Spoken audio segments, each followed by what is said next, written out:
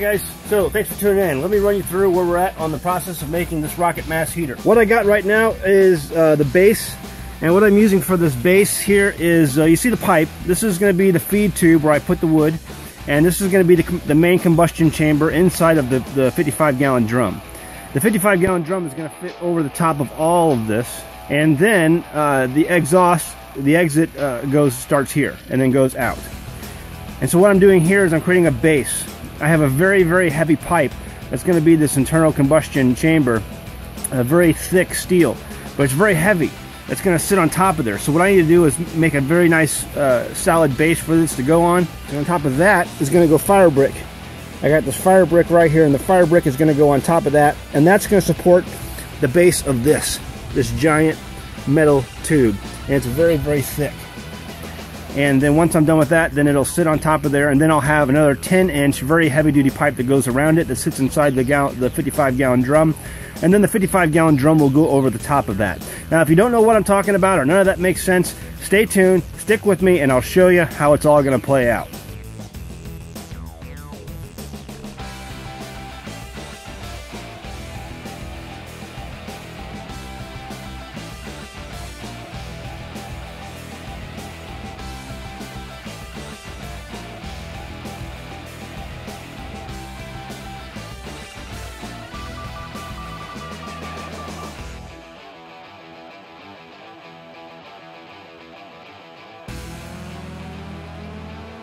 Okay, so it's kind of loud in the greenhouse. I hope you can hear me okay. Uh, what we've got here so far is uh, uh, we're doing pretty well. We've, we've got the main riser. This is the main where, main, where the main internal combustion uh, occurs, and so that's in place. It's connected to the tube.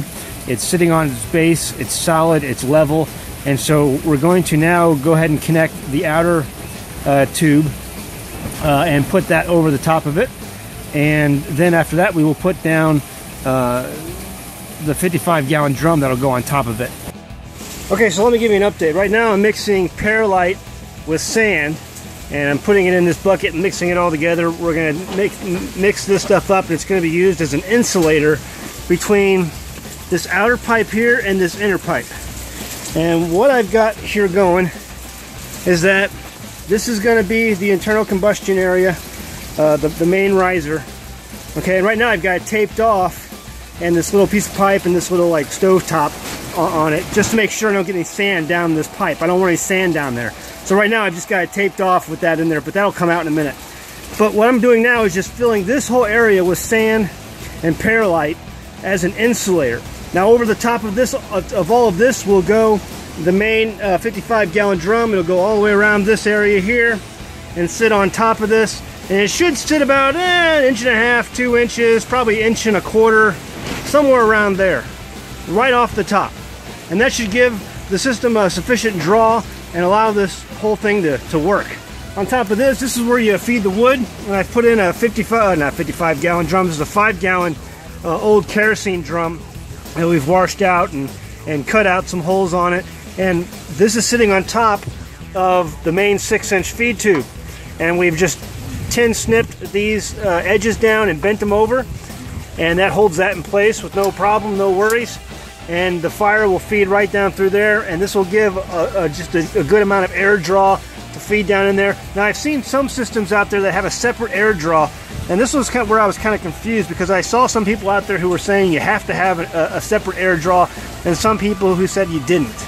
And so, and and both people who are both groups of people who said either one were both knowledgeable. It seemed like or had a lot of background in building these things, uh, both on YouTube, some you know, some on on forums, and so I don't really know what it come down to. But what I decided to do was go ahead and do this. What I saw one one person do on the internet, and they put a, a just a bigger drum, a bigger barrel over the top of their six-inch pipe, and then uh, fed the fire down through there, and that allowed enough air to get drawn down into the six inch uh, pipe uh, to feed uh, the stove. So that's what I did.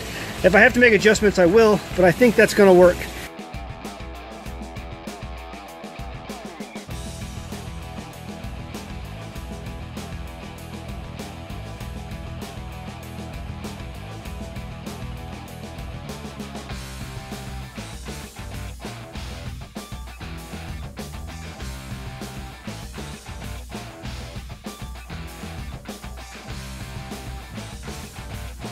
Okay, so we've got our insulation packed in there. It's perlite and sand. It's packed very well inside of all of that. It's uh, basically uh, one cylinder inside of another with the insulation in the middle. And we're getting ready to go ahead now, put on our 55 gallon drum that we've got here. And if we've measured accordingly and uh, done everything correct, it should only be about, eh, about an inch and a half or so above the top of this. So we're gonna go ahead and see.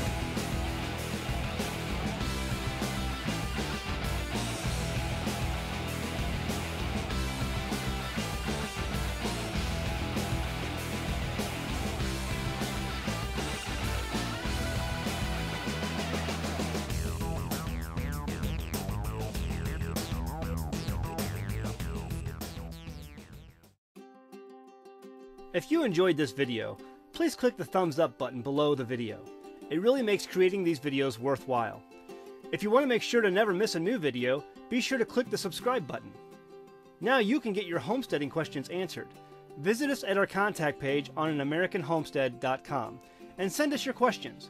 Maybe we'll pick your question for a future video or article on our website.